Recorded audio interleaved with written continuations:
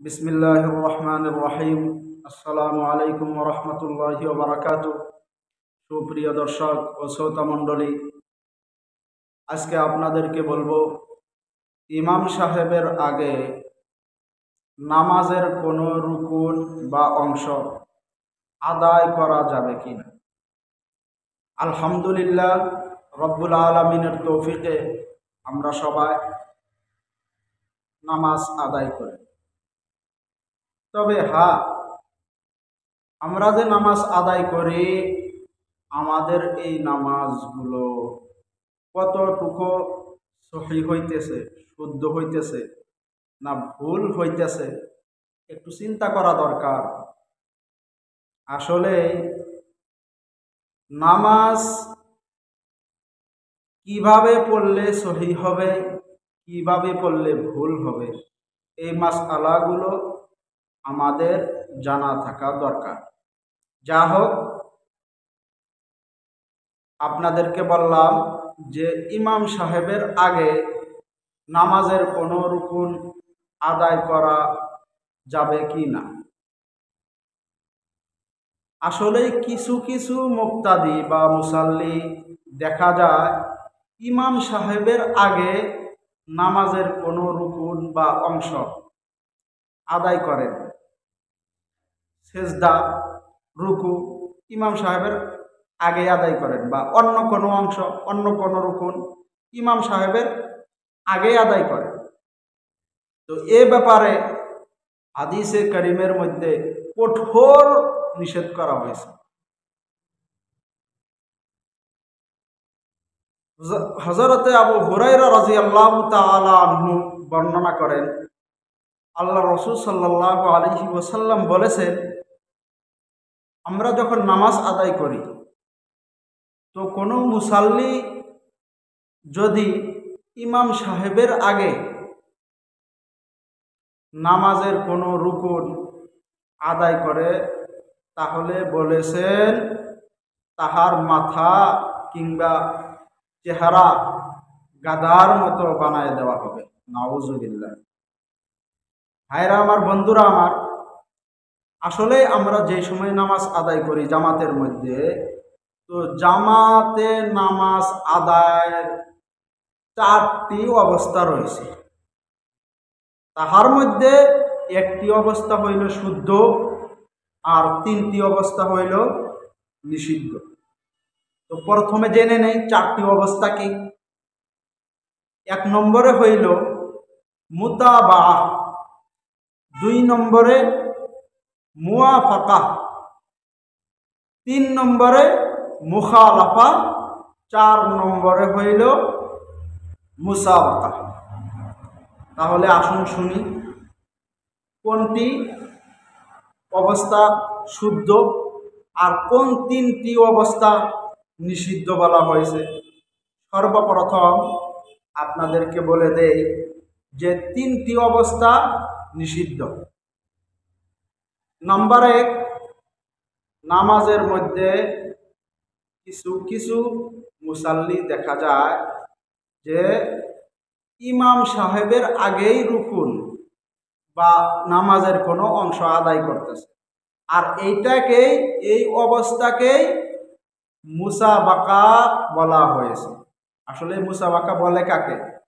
যে কোনো মুক্তাদি যদি ইমাম সাহেবের সঙ্গে নামাজ আদায় করতেছে জামাতের মধ্যে। আর নামাজের কোনো অংশ, কোনো রুকুন ইমাম সাহেবের আগেই আদায় করতেছে। এটাকে বলা হয় মুসাবাকা। আর এই মুসাবাকাটা নামাজের মধ্যে নিষিদ্ধ করা হয়েছে। দুই নম্বরে মুয়াফাকা তার মানে মুয়াফাকা কাহাকে বলা হয়? প্রথমে এটা জেনে নেই। যে ইমাম সাহেব নামাজের মধ্যে যে রুকুনগুলো, যে অংশগুলো আদায় করতেছে সেম টু সেম ইমাম সাহেবের সঙ্গে সঙ্গে আদায় করা। ইমাম সাহেব রুকু করতেছেন, সঙ্গে সঙ্গে রুকু করা, একটু দেরিও না করা। ইমাম সাহেব সেজদা করা করতেছেন, সঙ্গে সঙ্গে সেজদা করা, এরকম না করা। আসলে একটু এক সেকেন্ড বা দুই সেকেন্ড দেরি করে ওই রুকুনটা আদায় করা, ইমাম সাহেব যে রুকুনটা আদায় করতেছে। তো এই দুই নম্বরটাও নিষিদ্ধ বলা হয়েছে। আর তিন নম্বরে হইল মুখালাফা। মুখালাফা কাহাকে বলে?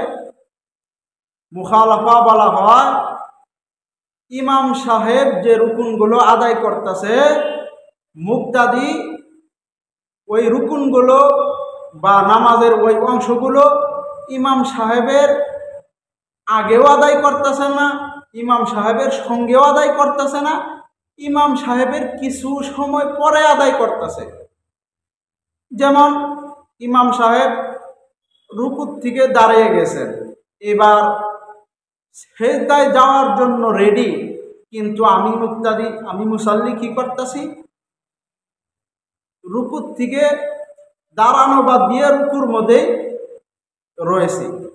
এটাকে বলা হবে মুখালাফা। ইমাম সাহেব রুকুত উঠে গেলেন।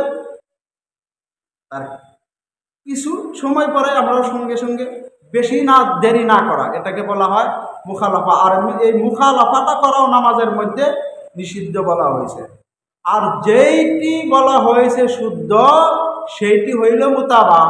আসুন শুনে নেই মুতাবা কাহাকে বলা হয়। আসলে আমরা যেভাবে নামাজ আদায় করি, বেশিরভাগ নামাজি যেভাবে আদায় করতেছে, দেখা যাচ্ছে। যেভাবে আমরা আদায় করে থাকি। তো কীভাবে আদায় করি?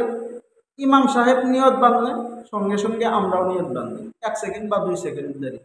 ইমাম সাহেব রুকুতে চলে যায়, আমরাও রুকুতে চলে যাই। বেশি দেরি না করা। কিছু সময়, এক সেকেন্ড বা দুই সেকেন্ড। বেশি দেরি করলে আবার মুখালাফা হয়ে যাবে। ইমামে বিরোধিতা করা হয়ে যাবে, যেটাকে নিষিদ্ধ বলা হয়েছে।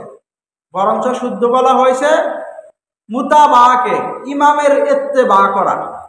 একবারে ইমামের সঙ্গে সঙ্গেও না, আবার ইমামের সঙ্গে সঙ্গেও। তার মানে ইমাম সাহেব রুকুতে চলে গেছেন, তার ঠিক সময়ই আমরাও রুকুতে চলে এক সেকেন্ড বা দুই সেকেন্ড পরে। ইহাকে বলা হয় মুতাবা। তো মুতাবাকে শুদ্ধ বলা হয়েছে। তো যা হোক প্রিয় ভাইরা এবং বন্ধুরা, আমরা যারা যারা নামাজ পড়ি, সর্বপ্রথম তো এটা খেয়াল রাখব যে আমাদের যে নামাজ আদায় হইতেছে জামাতের সাথে, তো কোনো সময় জানি সর্বপ্রথম এটা খেয়াল রাখা দরকার, আমাদের কোনো একটা রুকুন, কোনো একটা নামাজের অংশ ইমাম সাহেবের আগে যাতে আদায় না হয়। আর এটাকেই বলা হয়, হয়েছে মুসাবাকা। আর দ্বিতীয় নম্বরে বলা হয়েছে মুয়াফাকা সেম টু সেম ইমামের সঙ্গে সঙ্গে আদায় করা। তৃতীয় নম্বরে বলা হয়েছে, মুখালাফা, ইমাম সাহেবের বিরোধিতা করা। তার মানে ইমাম সাহেব সেজদা আদায় করে বসে বলল, আমরা তিন সেকেন্ড, চার সেকেন্ড, পাঁচ সেকেন্ড পরে বসলাম। এটাকে মুখালাফা বলা হয়। আর এই তিনটি হইল নিষিদ্ধ।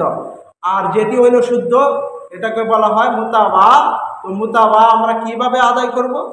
ইমাম সাহেব নিয়োগ করলেন, আমরাও এক সেকেন্ড বা দুই সেকেন্ড পরে আমরাও নিয়োগ করব। ইমাম সাহেব সেজদায় গেলেন, আমরাও সঙ্গে সঙ্গে সেজদায় যাব। সেম টু সেম না কিছু সময় পরায় এক সেকেন্ড বা দুই সেকেন্ড। যা হোক, রব্বুল আলমী আমাদিগকে আমল করার তৌফিক দান করুক, ইনশাআল্লাহ আখির দাওয়ানা আলহামদুলিল্লাহ রব্বুল আলমী